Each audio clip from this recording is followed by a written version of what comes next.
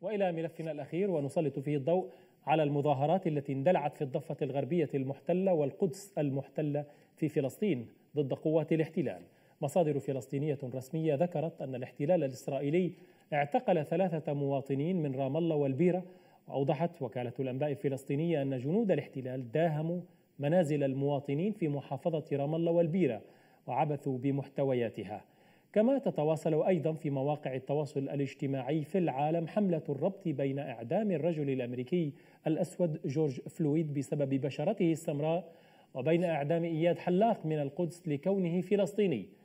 وبالتزامن اتهم نواب في القائمة المشتركة وزير الأمن الداخلي الإسرائيلي الجديد بالتحريض على قتل الفلسطينيين. وحمل رئيس القائمة المشتركة النائب أيمن عودة على وزير الأمن الإسرائيلي أمير أوحانا واتهمه بالتحريض على قتل إياد الحلاق من خلال قوله في أول يوم من مزاولته لعمله في الوزارة أن من يمد يده إلى شرطي إسرائيلي سيقتل. للوقوف على هذه التطورات أرحب بالإعلامي والكاتب أستاذ أكرم النتشة معي من الخليل. أستاذ أكرم أهلا بك في أضواء على الأحداث. بداية دعني أسألك عن هذه الحملة. التي يقودها الكثير من رواد مواقع التواصل الاجتماعي وانتشرت انتشارا كبيرا حول العالم للربط بين ما يجري في الولايات المتحدة الأمريكية كمظاهرات ضد العنصرية وما جرى لمواطن أمريكي بشرته سوداء على يد الشرطة الأمريكية وما قام به الاحتلال الإسرائيلي ضد الشاب الفلسطيني إياد الحلاق. السؤال هل ترى أن هذا الربط فعلا ربط قوي وواضح ويظهر أن الطرفين وإن اختلفا هناك رابط واحد في دوافع هذين الطرفين وأقصد الشرطة الأمريكية والإسرائيلية لتلك الاعتداءات. يعني في البداية قبل قليل انتهت وقفة تضامنية مع ما يمكن وصفهم بالثائرين في الولايات المتحدة الأمريكية في مدينة بيت لحم وأمام ساحة المهد وما تحمل رمزية كنيسة المهد من رمزية كبيرة في للأديان السماوية والإنسانية بشكل عام للتضامن مع ما جرى في الولايات المتحدة والمضطهدين في الولايات المتحدة. في الحقيقة الفلسطيني منذ يعني عشرات السنوات هناك حالة ربط ما بين ما يتعرض له الفلسطيني من اضطهاد ومن معاناة وما تعرضت له الشعوب ومختلف الشعوب الأخرى و العديد من الشعوب الأخرى ساهمت في النضال الفلسطيني كما ساهم الفلسطيني أيضا في العديد من نضالات الكثير من الشعوب ضد الظلم وطلبا للحرية ويعني رفضا للعنصرية وخاصة العنصرية المبنية على وإلى أي مدى ترى بأن هذه الحملة نجحت في لفت الأنظار لعنصرية الاحتلال ضد المواطنين الفلسطينيين؟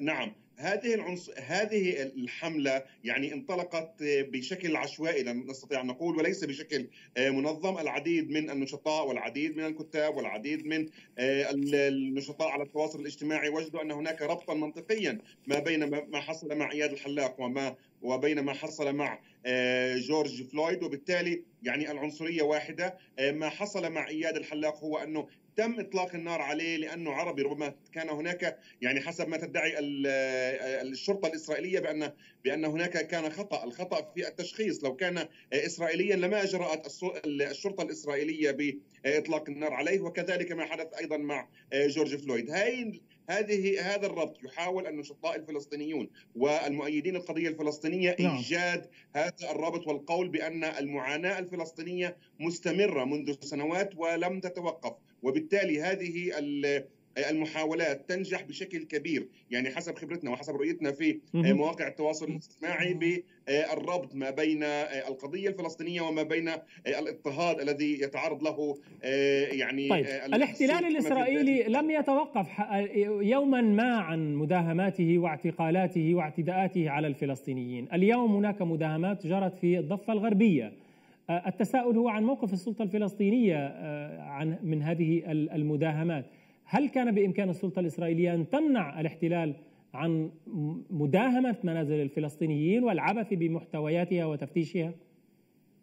يعني بالتأكيد لا يمكن للسلطة الفلسطينية مواجهة أجهزة الأمن ومواجهة جيش الاحتلال بكل عتاده وبكل قوته، قوات الاحتلال تقوم بحملات الاعتقالات والمداهمات بشكل يومي ويعني الكثير في في الكثير من الأحيان لم نعد يعني نعتبر أن وجود اقتحامات هو آه، خبر لأن قوات الاحتلال تقوم باعتقالات ما بين خمسة إلى عشرة مواطنين آه، بشكل يومي آه، اللافت للنظر أن أن هذه الحملات التي جرت في الأسبوع الأخير جرت في ما يمكن إطلاقه يعني وقف التنسيق الأمني أو وقف العلاقات مع الاحتلال وبالتالي يعني ربما هذا الآليات ربما بدأت تأخذ نعم. شكل جديد بأن قوات الاحتلال لم تعد تخبر السلطة الفلسطينية بأننا ذاهبون لنشاط أمني. ولكن بالمجمل القوات الامن الفلسطينية هي بالنهاية قوات مدنية قوات شرطة لا تستطيع مواجهة آه، يعني قوات جيش الاحتلال. المظاهرات يعني من الناحية الإجرائية سواء في الضفة الغربية أو حتى في الداخل الفلسطيني إلى أي مدى يمكن أن تتطور لتصبح حملة منظمة ضد عنصرية الاحتلال الإسرائيلي؟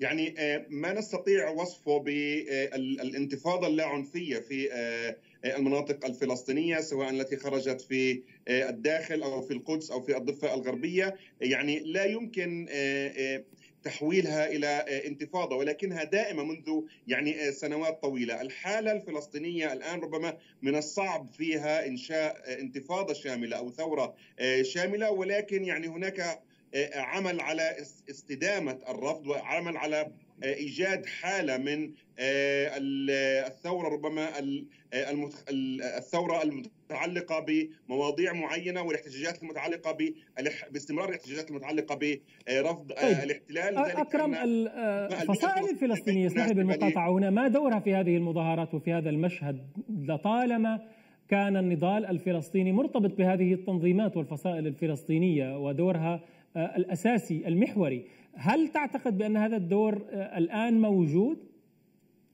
يعني الفصائل الفلسطينية غائبة أو مغيبة للأسف عن الساحة النضالية الفلسطينية، ربما هي منشغلة بشكل كبير في آه، السلطة الفلسطينية حركة فتح منشغلة بشكل كبير في آه، السلطة الفلسطينية في الضفة الغربية وحركة حماس آه، ربما منشغلة في السلطة وحكومة غزة قطاع غزة. الفصائل الأخرى غير يعني مؤهلة لقيادة ثورة أو انتفاضة على صعيد الشارع الفلسطيني وعلى صعيد كل الشارع الفلسطيني. وبالتالي يعني الفصائل الفلسطينية حتى هذه اللحظة لا نستطيع انها أن نقول إنه بدون مصالحة لا يمكن ان إن يكون هناك آه، انتفاضة عارمة وانتفاضة يعني آه، تشمل كل شكرا. الشارع الفلسطيني. حالة الاحتجاج هي التي ستبقى في الأيام المقبلة.